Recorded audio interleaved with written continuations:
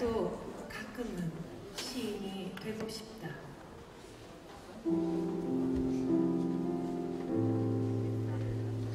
나도 가끔은 시인이 되고 싶다. 그리움이 밀려올 때, 어머니가 그리울 때, 첫사랑이 떠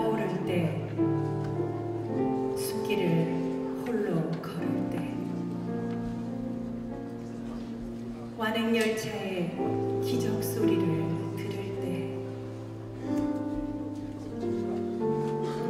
시 한 수로 감동을 주는 소월이 되고 싶고,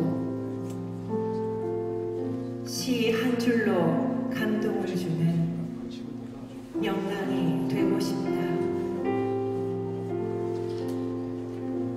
나도 가끔은 시인이